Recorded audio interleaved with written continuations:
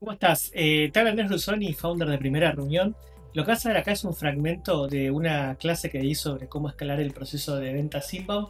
Y puntualmente este video es sobre sistemas de calificación como el BANT, pero justamente algunos cuidados que tenés que tomar eh, en adaptar esta literatura a tu realidad y a nuestra región. Espero que lo disfrutes.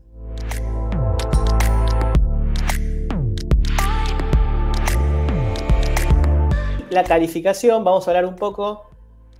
Una, excepción que quiero decir acá es, se habla mucho de la calificación BANT en general, que es eh, B por budget de presupuesto, A por autoridad, N de necesidad, o sea, T de timing, o sea, T de tiempos. Calificar en inbound por necesidad y por tiempo está bien, o sea, tiene lógica, che, lo que necesitas, lo que yo te doy lo necesitas, la T de tiempo eh, cuál es tu framework de un proceso de compra para que más o menos ver si te hago follow-up o si realmente tengo una oportunidad acá. Ahora, por presupuesto, ahí yo digo, si estás vendiendo, si vendes productos súper tradicionales y conocidos, tiene lógica verificar por presupuesto. Ahora, si vendes una solución innovadora, vos por ahí todavía el cliente no ve todo el valor. Entonces no descartes todavía por presupuesto. O sea, no, no, vayas todavía a descartarlo por, presupuesto. Y la, de autoridad en inbound, en outbound es súper importante, por ejemplo, eh, por ahí tener que hablar con el decisor cuando vas a conectar a alguien. En inbound, vos podés tener un pasante que el CEO o el gerente de marketing le dijo, investigame esto porque tenemos que resolver esto, pero hacemos una lista de tres proveedores. Entonces, si vos descalificás a alguien por autoridad y decís, no, vos, vos este, no, no, te das la reunión por esto, estás, y, pasa un montón eso, ¿eh? es muy normal en los procesos de inbound que venga una persona que tiene tres competidores y, este, entonces haga la, tablita, compare los, te compara vos con otros dos y presento eso en la... Entonces, si vos lo, como decimos acá, lo ninguneás, esa persona por ahí es la que menos va a llegar información tuya hacia arriba. Entonces, las agujas se están moviendo en, la empresa. Eso es lo que quiero decir con, la A de autoridad. Me parece muy interesante, Andy. Es eso que acabas de decir antes de, pasar ahí a lo que estás mostrando. Eh, me parece muy interesante esto de poder eh, entender cómo cualificamos, porque a veces cualificamos con, reglas que nos trajeron y cuando no las validamos, eh, quizás nos estamos perdiendo caminos mucho más amigables y que al mismo tiempo igual tiene sentido cualificar, porque quizás algunos de los que están escuchando ya cualifican, tienen un proceso, bueno, challenguemos ese proceso, fijémonos si estamos calificando por authority, y cuando decimos authority decimos de la persona con la que vamos a tener la reunión, no tiene un cargo de decision maker, que no por eso lo frenemos, ¿no? que no por eso lo frenemos, creo que ahí, ahí hay, un, hay, una, hay, un, hay un gran problema si lo hacemos por esa manera, pero también hay otro camino que es la gente que no cualifica. Eh, y, no cualificar también nos genera problemas de determinado tipo porque queremos pushear una venta cuando no hay cualificación y incluso no, solo perdemos tiempo, sino que podemos quemar al cliente porque no está en el buen timing o podemos generar cosas que no funcionen y que todo el equipo se vea eh, afectado por eso, ¿no es cierto?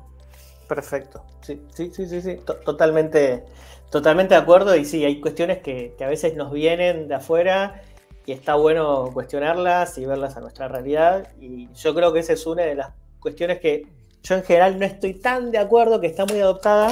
Y se me cayó todo acá. No está tan adoptada, pero, pero bueno, este, podemos, eh, se puede debatir. Podemos hacer hasta un me encanta. webinar sobre técnicas de calificación. Totalmente, lo haremos. Eh, me encanta, así que vamos Andy, sigamos, sigamos. Bueno, lo último, antes de ya ir, perdón, eh, una intro un poco larga, Básicamente, calificar inbound y outbound, ¿cuál es la gran diferencia? Esto lo saqué de este libro, es mi libro de cabecera. Si van a hacer inbound, en realidad vean este libro y después vean este webinar, de Sales Acceleration Formula de Mark Roberts. Eh, dice, es algo, lo explica muy claro. ¿Cómo es la calificación en inbound? En inbound vos sabés que hay necesidad. Tu problema es saber si el cliente que está hablando es un buen fit para vos. En outbound, si vos segmentaste bien, si no estás disparando a cualquiera, vos ya sabés que son un buen fit, vos ya trazaste un perfil de cliente ideal, entonces sabés que todas las empresas que contratás son un buen fit para vos. El problema que ahí tiene ese de Reobo es saber si, si hay necesidad. Con eso cierro el capítulo de diferencias inbound outbound que quería charlar un poquitito y si querés vamos para, lo otro. Pero... Y, solo, solo para, para quien todavía no le haya quedado claro, para decirlo de otra manera más fácil, Outbound es cuando vamos nosotros a mandar un mensaje en frío, digo, un ejemplo, un mensaje en frío a una persona que encontramos en LinkedIn, decimos, esta persona quizás le interesa en mi servicio, buen fit, lo identifiqué, le mando un mensaje en frío, eso sería outbound. Inbound, en cambio, sería, hacemos un webinar, publicamos en LinkedIn, voy a hacer un webinar donde voy a enseñar eh, técnicas de generar leads y se anota porque necesita eso y en ese sentido, se anotó y tenemos ese mail, y en todo caso, en esa conversación que se da con ese prospecto, de que ya claramente tiene una necesidad de aprender a generar leads. Todos ustedes probablemente están acá, tienen esa necesidad. Ahora la pregunta es si es buen fit, ¿no? Que lo trajiste. Gracias, Andy, muy clarísimo. Bueno, bueno, gracias. Bueno, voy a contar cómo logramos esto, pero para, como dijo Juanpi, algo contó de mí, pero para que lo estoy chambullando, esto es lo que fuimos haciendo. Yo en 2019 agarré el proceso de, de inbound en Sirena el primer año, si comparas el último trimestre con el primero, habíamos multiplicado por 12 las ventas y el año pasado se había multiplicado casi en un 100% y este venimos también. No pongo los números exactos porque no los puedo decir, pero, pero bueno. Este, así que nada, lo que les voy a contar son los desafíos que fuimos teniendo a la hora de empezar a hacer crecer el proceso esto es cómo fue evolucionando y, el desafío uno es como que parte del día cero cuando un poco empezamos a trabajar con el proyecto. Entonces, ¿cómo funcionaba ventas hasta ese momento?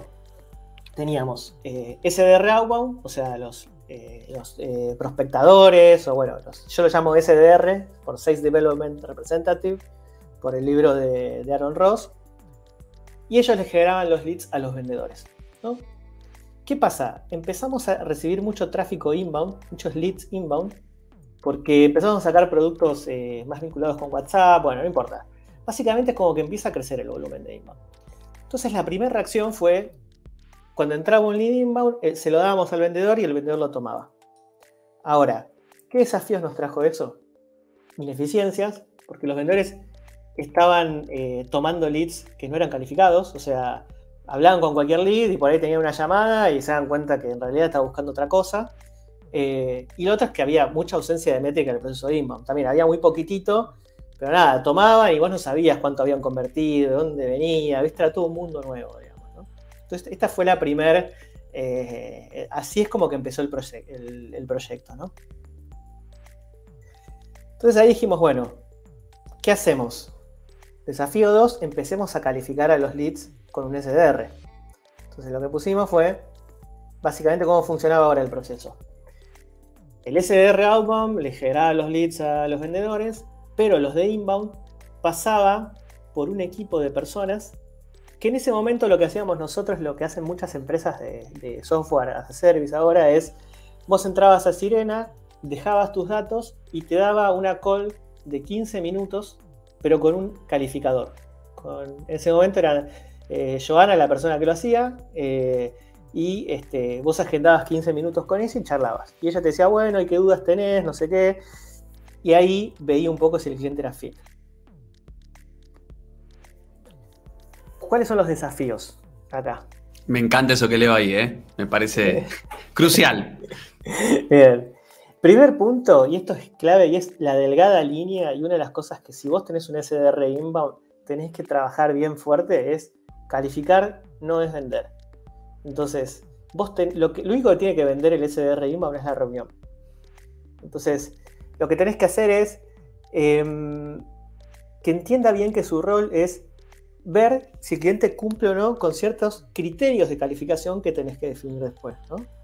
Em, entonces, ¿qué es lo, ¿por qué? ¿Por qué digo esto? Porque normalmente cuando el lead recuerden esto que les digo, el lead viene con una energía, con una intención de resolver muy fuerte. Entonces el lead va, no es como Outbound que vos lo agarrás con la guardia baja, ¿viste? Y vos le haces y dice, bueno, dale, me interesa, qué sé yo. Acá el lead viene con preguntas y lo va a bombardear al SDR. Lo que tiene que pasar ahí es que el SDR le tiene que poner bien la expectativa. Mira, vamos a tener una call muy rápida.